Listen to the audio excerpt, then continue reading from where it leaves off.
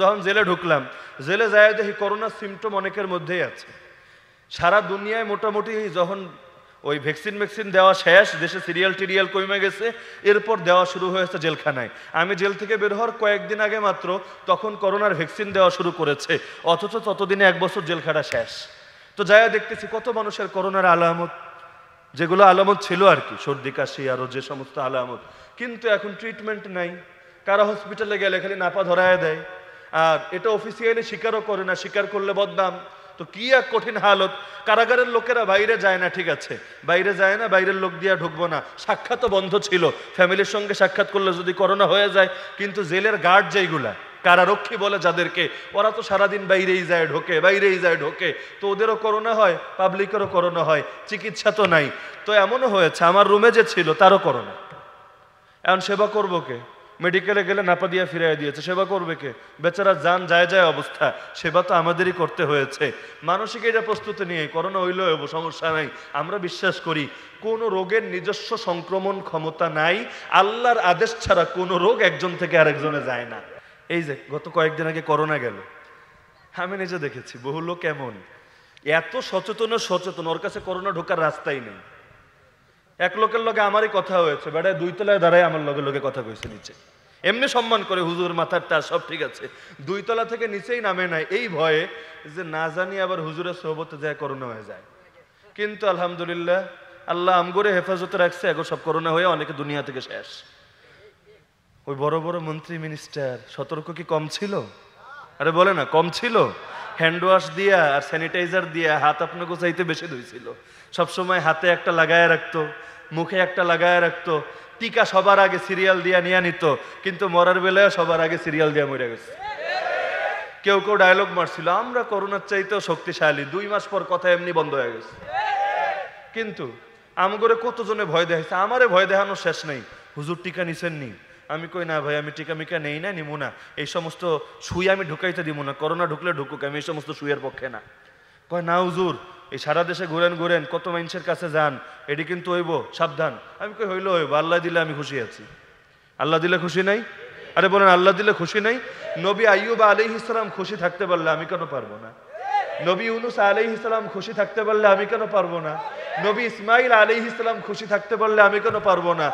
আমার আল্লাহ যা দেন সব তো আমার জন্য নেয়ামত। এটাতে আমার কল্যাণ আছে বলেই তো আল্লাহ দেন। আল্লাহ যদি আমার এখন ডাক দেন, বান্দা তোর আয়ু শেষ চলে আস। আমি তো বলব, আল্লাহ, আমি তো জলদি তোমার সাথেই মিলিত হতে চাই। দুনিয়া তো ভালো লাগে না, আল্লাহ। খালি পেরেশানি আর পেরেশানি, খালি ফেতনা আর ফাসাদ। আমি তো জলদি তোমার সাথে মিলিত হয়ে জান্নাতের সবুজ পাখির ভেতর ঢুকে উড়ে উড়ে জান্নাতের নাজ নেয়ামত ভোগ করতে চাই। আমরা প্রতিদিন যেই পরিমাণ মানুষের সঙ্গে মুসাফাহা করা লাগতো, এটি তো আপনারা ভালো করেই জানেন। এক এক মাহফিলের শেষে কি পরিমাণ মুসাফাহা করা লাগে? নাকি একজনের লগে মুসাফাহা কইরা স্যানিটাইজার দিয়া ডইলা ডইলা তারপর আর একজনের লগে করার সুযোগ আছে? আর কিসের দূরত্ব? সামাজিক দূরত্ব আর শারীরিক দূরত্ব পরে। পাবলিক তো পাইলে আরও জড়ায় ধরে।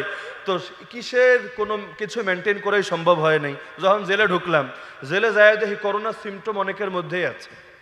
সারা দুনিয়ায় মোটামুটি যখন ওই ভ্যাকসিন ভ্যাকসিন দেওয়া শেষ, দেশে সিরিয়াল টিরিয়াল কমে গেছে, এরপর দেওয়া শুরু হয়েছে জেলখানায়। আমি জেল থেকে বের হওয়ার কয়েকদিন আগে মাত্র তখন করোনার ভ্যাকসিন দেওয়া শুরু করেছে, অথচ ততদিনে এক বছর জেলখানা শেষ। তো যায়া দেখতেছি কত মানুষের করোনার আলামত, যেগুলো আলামত ছিল আর কি, সর্দি, কাশি আরও যে সমস্ত আলামত। কিন্তু এখন ট্রিটমেন্ট নাই, কারা হসপিটালে গেলে খালি নাপা ধরায় দেয়। আর এটা অফিসিয়ালি স্বীকারও করে না, স্বীকার করলে বদনাম। তো কি এক কঠিন হালত? কারাগারের লোকেরা বাইরে যায় না, ঠিক আছে। বাইরে যায় না, বাইরের লোক দিয়ে ঢুকবো না। সাক্ষাৎও বন্ধ ছিল। ফ্যামিলির সঙ্গে সাক্ষাৎ করলে যদি করোনা হয়ে যায়, কিন্তু জেলের গার্ড যেইগুলা, কারারক্ষী বলে যাদেরকে, ওরা তো সারাদিন বাইরেই যায়, ঢোকে, বাইরেই যায়, ঢোকে। তো ওদেরও করোনা হয়, পাবলিকেরও করোনা হয়, চিকিৎসা তো নাই। তো এমনও হয়েছে, আমার রুমে যে ছিল, তারও করোনা। এখন সেবা করব কে? মেডিকেলে গেলে নাপা দিয়ে ফিরাই দিয়েছে। সেবা করবে কে? বেচারা যান যায় যায় অবস্থা। সেবা তো আমাদেরই করতে হয়েছে। মানসিক এটা প্রস্তুতি নিয়ে করোনা হইলেও সমস্যা নাই। আমরা বিশ্বাস করি, কোন রোগের নিজস্ব সংক্রমণ ক্ষমতা নাই। আল্লাহর আদেশ ছাড়া কোনো রোগ একজন থেকে আরেকজনে যায় না। আপনার কি মনে হয় আল্লাহর আদেশ ছাড়া যায়? যায় না। তো যার কারণে দেখা গিয়েছে, সারা টাইম করোনা রোগীর আশপাশে থাইকে, আলহামদুলিল্লাহ, সর্দি কাশিও হয় নাই। জ্বরও আসে নাই, পেরেশানি করার মতো কিচ্ছুও লাগে নাই। সর্বময় ক্ষমতার মালিককে আল্লাহ। এমনিও দেখবেন, গরিবের কিন্তু একটু পেরেশানি কম থাকে। বেশিরভাগ সময় এমন হয় রোগ টোগ কম। কিছু রোগের নামই হয়ে গেছে বড় লোকের রোগ, এটি গরিবের হয় না। যাগো, টাকা পয়সা থাকে, আগো হয়। ওই যে গরিবের বাচ্চা যে এরিয়া আছে, দেখবেন ব্রয়লার মুরগি এক একটা, এইরকম স্বাস্থ্য গালটাল সব ফুলা সবসময় কোলে কোলে রাখে, আদর করে রাখে এসি রুমে রাখে। একটু যদি পানিতে বেশিক্ষণ থাকে, গোসল করতে যায়, বেশিক্ষণ থাকছে, গ্রামে যায় একটু পুকুরে বেশিক্ষণ নেমেছে বা একটু সামান্য বৃষ্টি লেগেছে, আরে জ্বর হইয়া, নিউমোনিয়া অবস্থা খারাপ, স্কোয়ার হসপিটালে ভর্তি করো, এই করো, সেই করো সবার মাথা গরম। আর গরিবের পোলাপান ল্যাংডা হইয়া, মেশিন গান ঝুলায়া ঝুলায়া সারাদিন খালি ওডির মধ্যেই লাফাইতে থাকে, রৌদে পরে বৃষ্টিতে ভেজে আর কিছু হয় না। আল্লাহ তাআলা তো জানেন, এর আর্থিক সমর্থা নাই। তা আল্লাহ তাআলা তার রোগ প্রতিরোধের ক্ষমতা এত স্ট্রং বানায় দেয়, বান্দারা এখন কিছু হয়ই না। এখন গরিবের পোলে এমন কিছু করে, বড় লোক দেখে ঠাসকি খায়া যায়। তো জাকাতের বিষয়টা এমন। তো এখন জাকাত শরীয়তের একটা পরিভাষা, বৃদ্ধি পাওয়া। আপনি ভাবলেন, আমার পোলায় আগে ছিল পাঁচ ফুট পাঁচ ইঞ্চি, এখন লম্বা হয়ে হয়েছে পাঁচ ফুট ছয় ইঞ্চি। আপনি বলবেন, ছেলে জাকাত দিয়েছে। বলা যাবে? এই বাক্য বলা জায়েজ হবে, হজ মানে ইচ্ছা করা। হজ মানে কি? আপনি চুরি করার ইচ্ছা করেছেন। বলবেন, আমি হজ করেছি, আমি হাজি সাহেব। আরে বলে না, জিহাদ মানে হইল চেষ্টা করা, সংগ্রাম করা, ভালো কথা। যেমন হাদিসে আছে জালাসা জাহাদা জামাই যদি বউয়ের চাই রঙ্গের মাঝখানে বইয়া পড়ে, চাই রঙ্গ মানে দুই হাত আর দুই পা, মাঝখানে কি আছে আপনারা ভালো জানেন? তো জামাই যদি এই চাই রঙ্গের মাঝখানে বইয়া পড়ে এবং জিহাদ করে, গোসল ফরজ হয়ে যাবে। তা আল্লাহ রসুল তো জাহাদ শব্দ ব্যবহার করছেন, জিহাদ করে। এইটা আবার কোন জিহাদ যেই জিহাদ করলে বিসিএসে প্রশ্ন করতে পারবেন এইটা আবার কোন জিহাদ যেই জিহাদ করলে গোসল ফরজ হয়? এখন শাব্দিক অর্থের বিবেচনায় তো এটাও জিহাদ। কোরআনে আল্লাহ কই জিহাদ বলছেন, দেখেন, ওয়া ইন জাহাদাকা আলান তুশরিকাবি তোর বাপমা যদি তোর লগে জিহাদ করে, আমার লগে শিরিক করতে হইব। ফালা তুতি হুমা খবরদার। বাপমার কথা শুনবি না শিরিকের ব্যাপারে। আরে আজরও তো নবী ইব্রাহিমরে শিরিক করতে বলে। নবী ইব্রাহিম শোনেন নাই বাপের কথা। তাই বলে বেয়াদব হন নাই। কারণ লাতা আতালি মাখলুকিন ফি মাসিয়াতিল খালেক। আল্লাহর অবাধ্যতায় মাখলুকের কোনো আনুগত্য চলে না।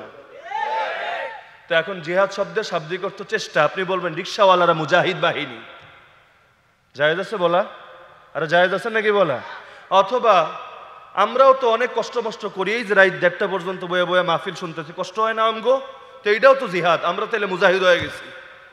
বলা যাবে? আরে বলা যাবে নাকি? ইসলাম শব্দগুলোরে যেই অর্থে ব্যবহার করেছে, আপনারেও সেই অর্থে ব্যবহার করতে হবে। বেদাত কইরা সুন্নি নাম লাগানো যাবে না। কুফরি কাজ কইরা হিজবুত তাওহিদ নাম লাগানো যাবে না। নবীর খতমে নবুয়ত অস্বীকার কইরা আহমদি জামাত দাবি করা যাবে না। একইভাবে বারো রবিউল আউয়ালে সব ঈদের সেরা ঈদ কম যাইব না? কারণ ঈদ বলতে আমরা একটা শরীয়তের পরিভাষা বুঝি। ঈদ তো কোনো বাংলা শব্দ না, বাংলা শব্দ। বহু বাঙালি এমন আছে, ঈদ শব্দের অর্থই জানে না, কারণ আরবি পইরা কি সবাই শিক্ষিত হয়েছে নাকি? বহু লোক, বেশিরভাগ লোক এমন ঈদ শব্দের অর্থ জানে না। আপনি কইলেন, সকল ঈদের সেরা ঈদ ঈদে মিলাদুল নবী সৈয়দুল আয়াদ। বলে না? নাকি ব্রাহ্মণবাড়িয়া শোনেন না জীবনে? বলে।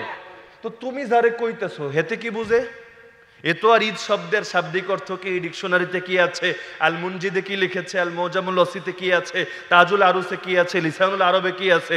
এডি বুঝলে তো বেড়া হে মোল্লাই হয়ে যেত হে আর সাধারণ লোক থাকতো না। এখন লোকে বুঝে কি? ঈদুল ফিতর, ঈদুল আজহা এর চাইতো বড় ঈদ হইল যাইয়া ঈদে মিলাদুন নবী। এই কারণে বহু লোক এমনও আছে, ঈদের নামাজ পড়ে না। আজকে ঠিকই রাস্তায় বাইর হইয়া, ওয়েলকাম ওয়েলকাম, নবীজি, ওয়েলকাম। তো পরিভাষা নিয়ে ফাইজলামি করতে যাবেন না।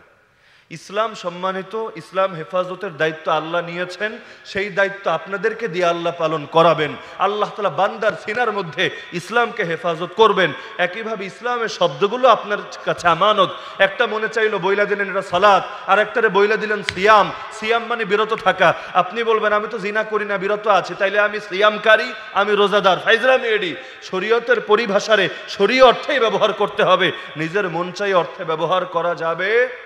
কেউ যদি গণতন্ত্রের খেলাফত বলে, ইমান থাকবে? রাজতন্ত্রের খেলাফত বলে, ইমান থাকবে? খেলাফত তো খেলাফতি সুরা সিস্টেমের শাসন আমল, শাসন ব্যবস্থা, যেটা আল্লাহ শিখিয়েছেন, যেটা নবী দিয়ে গেছেন, সেটাই খেলাফত। অন্য কোনোটারে তো এই কথা বলা জায়েজ হবে না।